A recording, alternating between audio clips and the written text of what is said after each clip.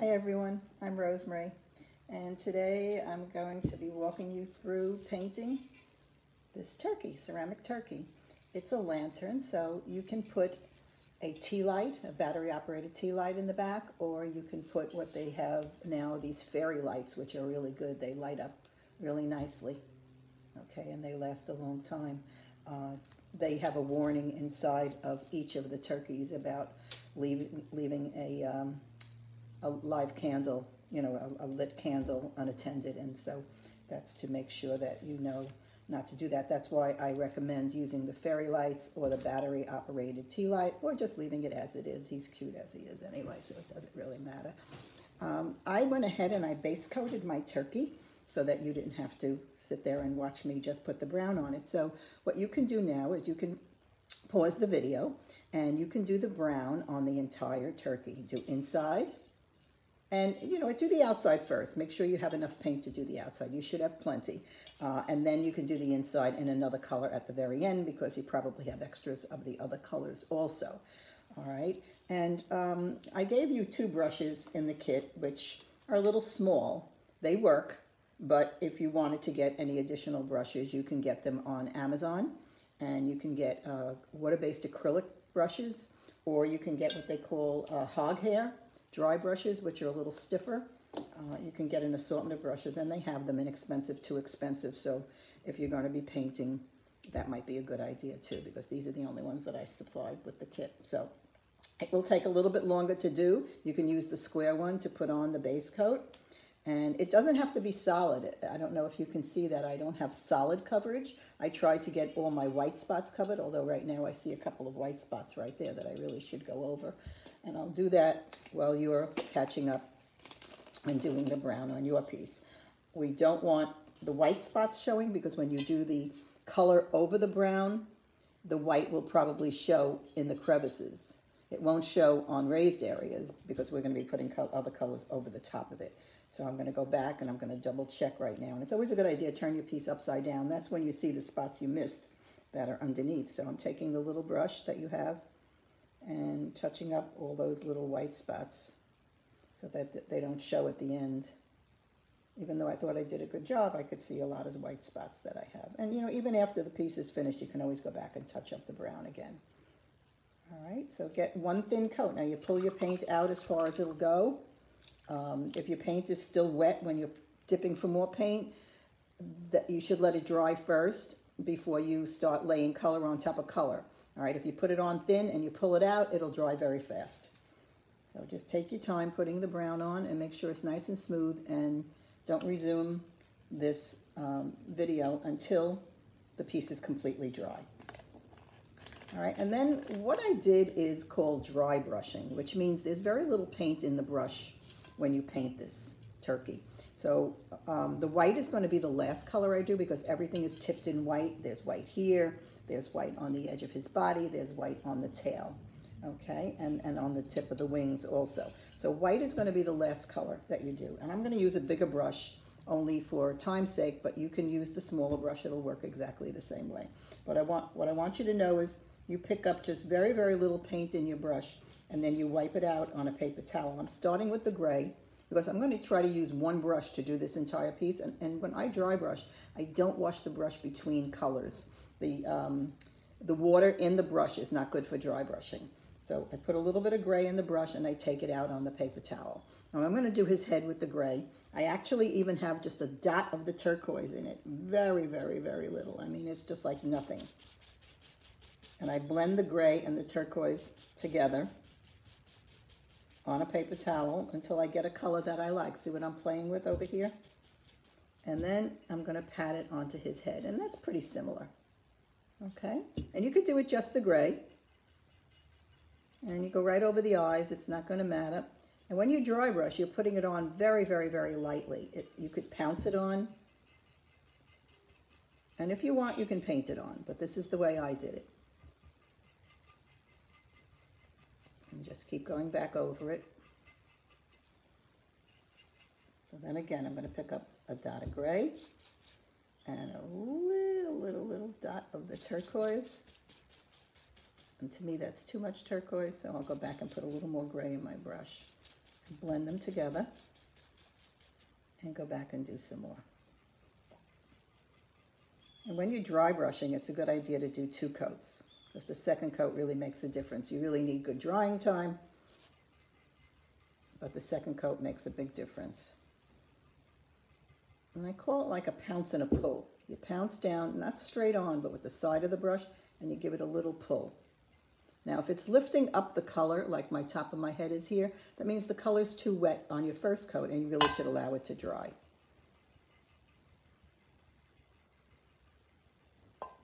So, because I'm pushing it, I'm not allowing it to dry, and that's lifting up the color that's underneath. So I'm not going to get the, the full effect, but I will go back later on. But um, see his head? It'll be a little different in color, but not too much. All right, so now we want to go to the next lightest color because once I put a dark color in my brush, um, it's very hard to go back to the light color. So I'm going to go to the yellow next. I'm going to just wipe out my color, not washing my brush. Wipe out the color, picking up a little bit of yellow. Maybe do it twice to get rid of the previous color that's in the brush. I use the next color to clean the previous color out of the brush. Okay, so now I have yellow in the brush, and I'm going to do the top of the wing and the tail here and the tail here in the front. So I will start with the top of the wing, and I'm going to go down from the top. I'm going to do all the yellow areas once. This way I allow my color to dry. So I did that side. And now I'm going to be doing this side.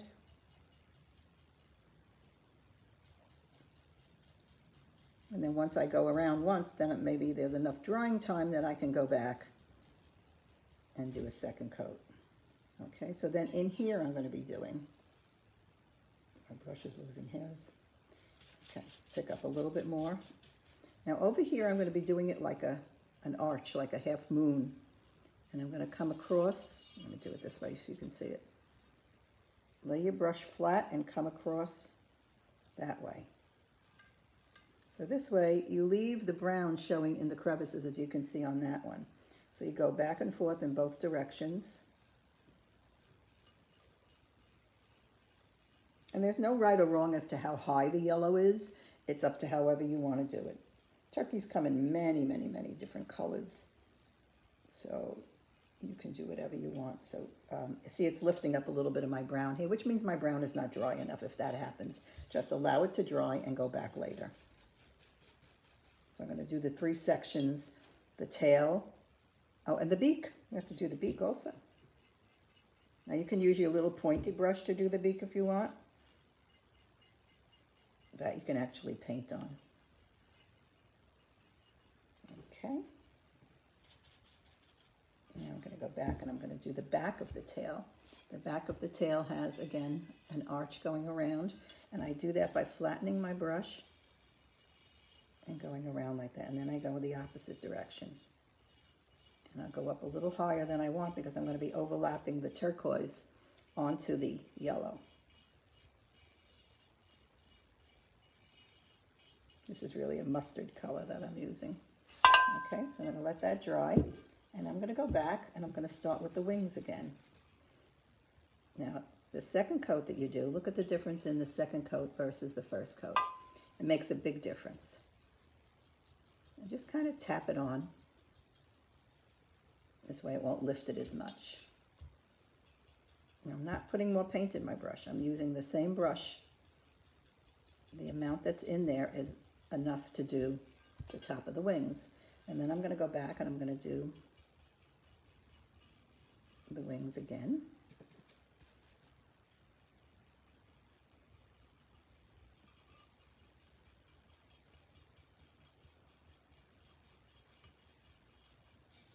little bit of the mustard color.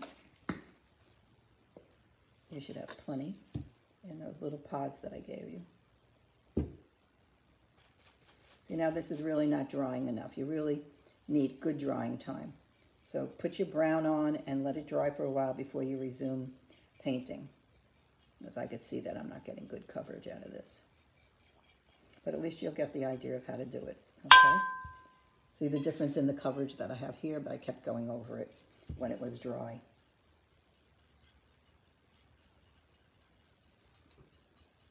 And again on the front. And I'm even gonna do a third coat. When your color dries, each coat that you do makes the color more vibrant, unless you paint it on. If you paint it on,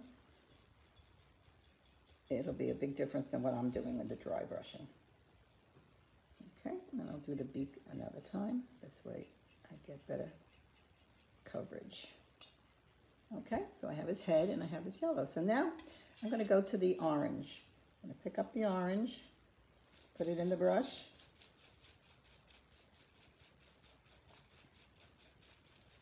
And I'm going to do the orange across underneath the yellow. I go in two directions, back and forth, and go up onto the yellow a little bit. And don't forget this little area in the front here.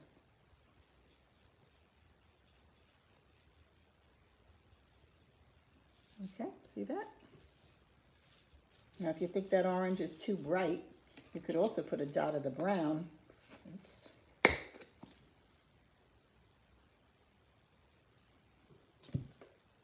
Into the orange.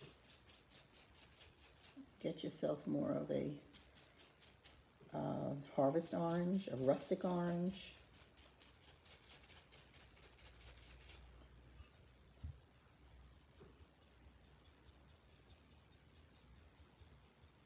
Yeah, then we have to let that dry too. Again, a little bit of brown, a little bit of orange, mixed together. Take all that moisture out of the brush. If you notice, every time I dip, I go to the paper towel. I don't go right from the paint to the piece. Okay, so now I'm going to be doing the other side. And again, I'm going across the grain without going into the crevices. This way my crevices can stay brown. And what that ha happens, it, it allows it to look like it's been antiqued. Okay, now you could always go back later with your little brush and draw a black, a brown line back in there again if you feel that um, you got rid of too much of the crevices and you don't see any of the brown. You also can do it with a marker if you let your piece dry really, really well. And it's too solid, you can take a brown marker and you can go in between and draw a brown line in between. Okay, so now um, that's the only place I have the orange is on the wings. All right, see that? So I'm gonna see if I can go back now and do a second coat. And each time I dip, I put a little dot of brown in my brush and then orange. And I'm getting more of a, a harvest orange, orange rust. Now this piece is from Gare, G-A-R-E.com. It's one of their pieces that um, I buy to teach these library classes and put it up here on YouTube. So I use a lot of their bisque. The paints also I'm using are from Gare. They're Gare acrylics. Using them too. I also use Mayco and some Duncan. But for these classes where I have to fill up, you know, hundreds of pods, I find that these big jars really come in handy. Okay, so I did the orange again, and look at the difference each time. And like I said, let it dry, because I'm not getting the coverage I would really like to get. Uh, if you could see on this one versus this one, it's still a little streaky.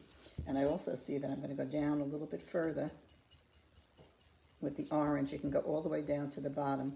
Now I'm going up and down, but I'm not filling in the brown crevices. Okay, did that A little bit of brown, a little bit of orange, and we'll do the other side.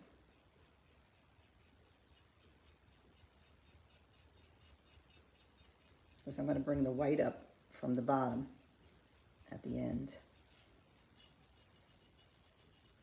The only place I would say do two coats of the brown is on the back here because I left that. I left that in just the brown. So maybe two coats on that because you don't want to see that streakiness on there. Okay. Make sure you get this little section here in the front, the flat side of each of the wings. Oops, yeah, I see another little spot there. Okay, all right, so we have those colors on there. So I have the gray with a little bit of turquoise in it. I have the yellow beak, the yellow on the top of the wings. And I think what I'm going to do is I'm going to go back, maybe my yellow is dry, without washing the brush. I'm just picking up a little bit more of the yellow And I'm going to pounce some of that yellow down and blend it into the orange. Still a little wet, but it is better. Oh yeah, look at the difference.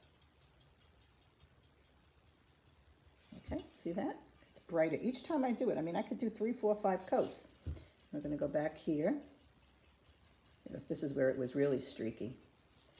Now that's much better than this side. See this side, how light it is? So the drying time is really very important when you're dry brushing. Because if there's moisture on there, it's almost impossible to layer your colors like you should. Okay. Um, I think now I'm going to do the turquoise. Oh no, let's do the red. Let's do the red next, okay? Because I can go right to the red from the oranges that are in the in the brush. I'll pick up a little bit of red, wipe it out. See how fast it turns to red? That's orange in the brush with the red. And then I'm going to do it on his wattle. Look how fast that turns red.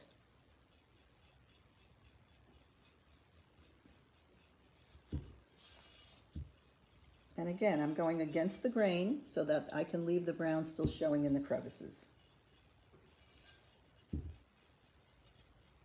And just remember, this is your piece. You don't have to do it exactly like mine. This is just a suggestion and to show you how I did my sample. But you are the artist. I always tell everyone that, and you can do whatever you'd like. You could look up pictures of turkeys online. But the red, I mean, one coat of the red is probably sufficient. Okay. There we go. I have the red done. So now I'm going to go to the turquoise. And again, I'm not washing my brush. Picking up a little bit of turquoise, wiping it out. I'm going to do it a couple of times. I'm going to use the turquoise to clean the red out of the brush. Two, three times until I get the color I want on my paper towel. And the way I did the yellow across the back, I'm going to do exactly the same thing with the turquoise. And your every color is being applied a little bit over the previous color. And do the turquoise right to the top because the white will come down right over it. Okay, see what I did? Now that's not enough color and I'm going to have to do it a couple of times, but like I said, it needs the drying time. Pick up a little bit of color, wipe it out.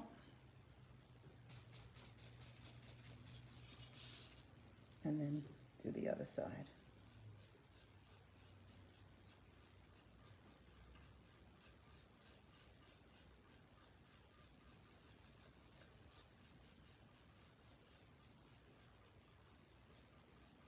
Wing is um, a pretty big area, so even though I'm going back and forth, I'm not liking how it was filling it in.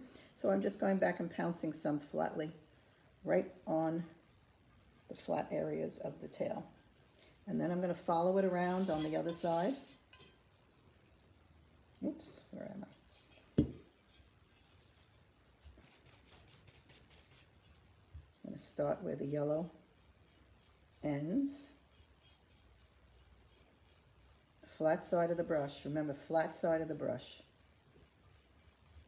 I'm going to go almost all the way up, and I'm going to bring the white down over it after. Now, when you do the white, you're going to have to wash your brush out. You have the luxury of letting it dry. When I'm doing a class like this, I don't have the time to really let my brushes dry, but you really need to let your brushes dry. And then you do your white. Now, since I got a nice turquoise there, I'm going to be doing the front over again. And if you wanted to put some into your wings, I mean, you can. If there's no right or wrong, like I said. And you just do whatever you feel. I'm just following the sample, the original sample that I did.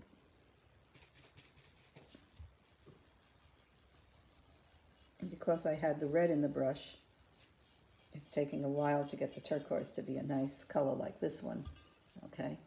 So I just do it a couple of times. Each time I do it, it wipes more of the red out of the brush. But again, you can also wash your brushes in between and then just let your brush dry before you go back and do another color. Like I said, I'm not doing that in the video. So there you go. All right, see that? All right, and see this one, the yellow's a little higher. You can do that. You can, you know, there's no right or wrong on this. So now I'm going to be washing my brush out. And Hopefully I get most of that color out of there, but you should wash your brush and let it dry before you start to do the white. I'm gonna see how I can do this. I have to really dry my brush well.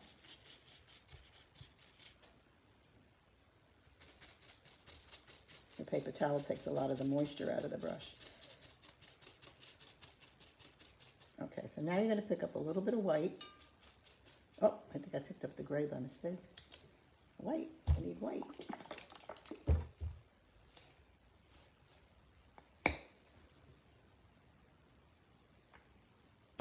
Okay, so I'll pick up some white.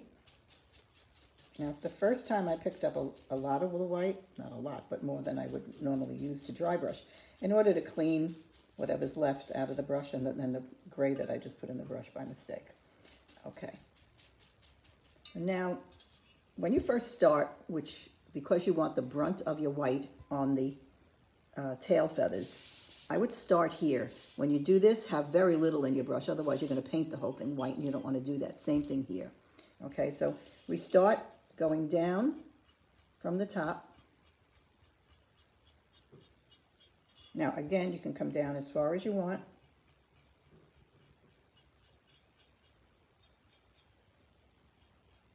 Okay, and then I'm going to turn it around and I'm going to come down this way. So I'm going to be doing both sides of the tail.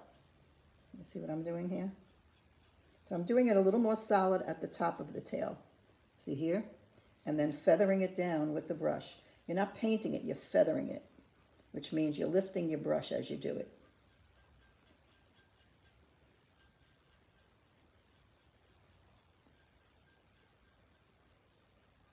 Each time you do it, the white will get whiter. So I'll do all the areas once, and then I'll go back and do them a second time.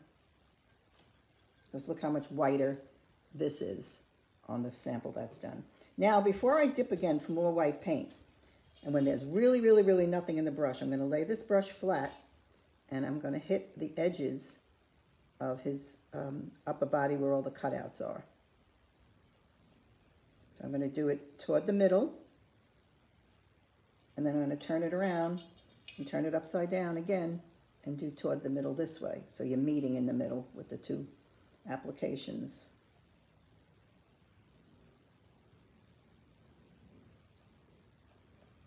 And so even though you think there's nothing in the brush, there is. And I'm going to do it again because the second time I do it, it makes such a big difference. Okay, now you see what I did there? All right, and the same thing here. I'm not going to dip again. I'm just going to come up, turn him upside down, and come up from the bottom. And when you come up from the bottom, you're only hitting, and you can do that with this little square brush also. Just come up from the bottom and just hit nothing in the brush, remember, no paint. When you dry brush, your brush is almost completely dry. If you properly dry brush, you almost see a powder forming. I'm not going to see that now because my brush is a little wet, but when you really dry brush accurately, you will see a powder forming.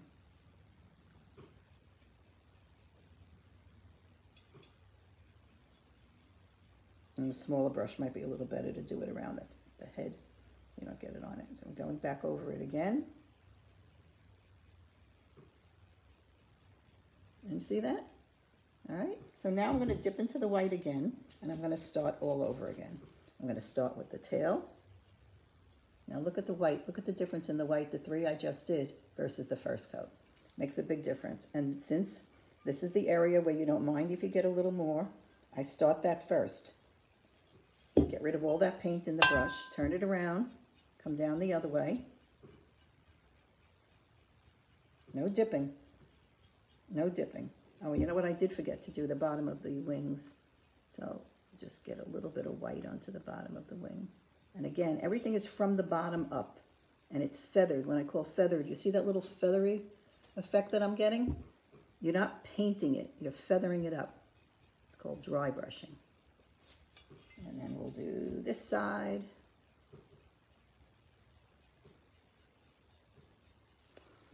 And you can come up onto the side of the wing. I did a little bit. I came up onto the side just a little bit. Okay, and now again, nothing in the brush.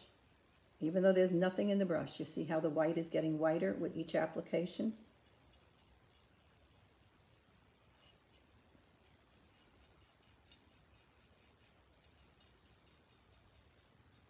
It's hard not to get it on the face, on the, um, the wattle. So I do it and then I wipe it with my fingers right away to get it off. Okay, nothing in the brush. Again, I have not dipped except one time when I started the tail. And now I'm using that same brush load. Well, I have a big brush, don't forget. You're probably going to have to dip a, a little bit more often. Okay. And again, if you wanted to do this again, you could keep going until you like the effect that you get. But they're very similar, aren't they? This guy's red is a little bit deeper, and that's because I only did one coat on that. You can go back. Now, as far as eyes go, if you have black paint, you can do it with the back end of a brush or a toothpick, but you can also do it with a marker. See if my marker's working right now. You just need to have your paint nice and dry. And just draw a little circle. Okay, see that? I just did that with the marker. This is an extra fine point, ultra fine point Sharpie. And if the marker's not working, wipe the tip a little bit because sometimes it picks up some of the paint in the, the tip. And you also can do, see those two little lines in the beak? There's one on that side and there's one on that side. And you could do that also with the, um, the marker.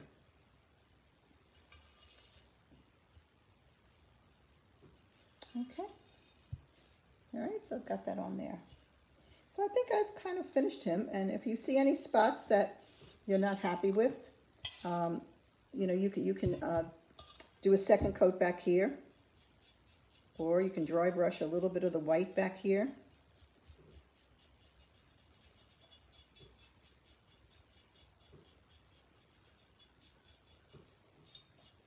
Give it a little bit of texture. Also, um, I see some white spots that I have, and I, I, I told you that that was going to happen. I see some little white spots. I'm going to go back with my brown, with my little brush, and touch up some of those white spots that I still see in there. But it's pretty much the same. Every time you do something, it's going to be a little bit different. Like I see here, I could do the yellow another coat on here. Um, but two pieces don't ever come exactly alike. This is art, and you are creating each time you do something, so your pieces are never exactly the same. I find when I do something the first time, I really don't like doing it a second time because I usually like my first one the best. But um, two, no two pieces ever really come alike, and it's your piece, so you can be as creative as you like, and you could do whatever you want with it. But um, I want to thank all of you for watching my videos on YouTube. I have quite a few up here right now. I think I have like about 20 videos on YouTube, and I'll be doing a lot more for the holidays now. Uh, this turkey for Thanksgiving is adorable. I've used him so many times in classes. I want to thank all of you for watching my videos and for enjoying ceramics. And I hope to see you soon and happy Thanksgiving to everyone and stay safe. Bye.